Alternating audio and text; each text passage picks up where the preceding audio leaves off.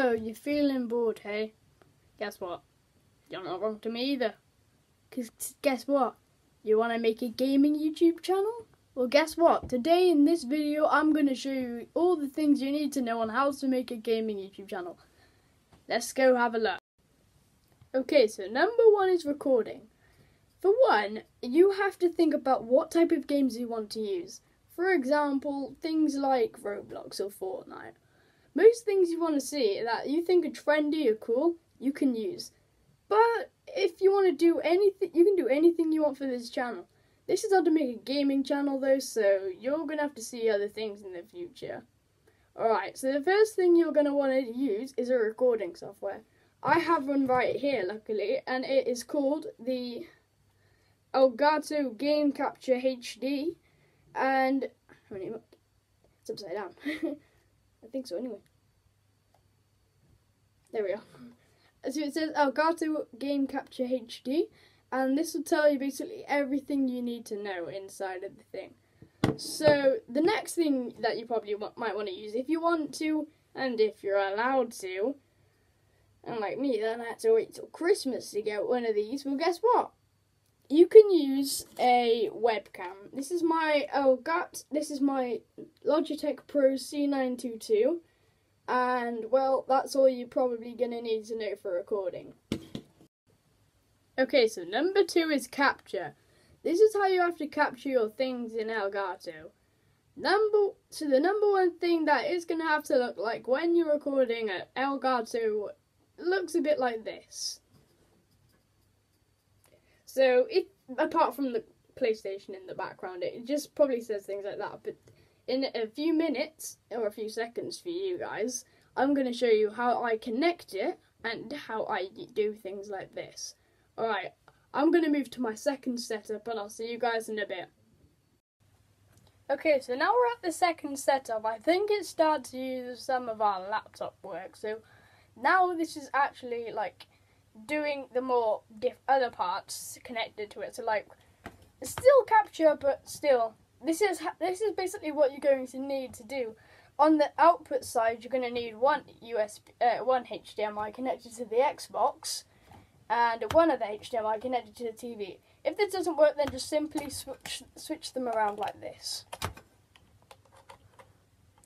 and then the capture will show up on the screen on the app on the Elgato app that you should use that you're probably going to be able to use, and I will put in the uh, and, pro- and I'll probably put in the in uh, link in the description below.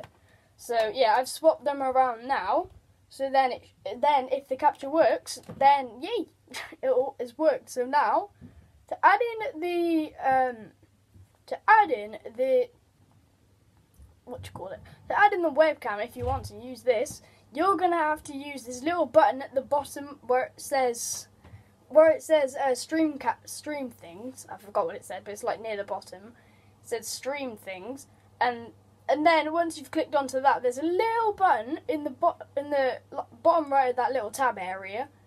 That serves like an add symbol. If you press on the add symbol in the box, it should say add, add webcam, and then C922 or whatever type of webcam you use. It could be mostly I'd use it by Logitech, but it's up to you guys.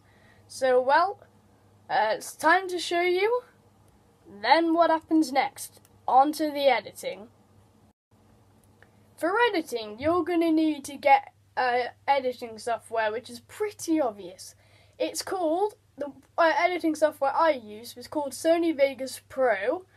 Uh, since, the one I used was uh, technically for me was C9, no I haven't, was Vegas Pro 16, which was actually pretty good, and I still use it to this day.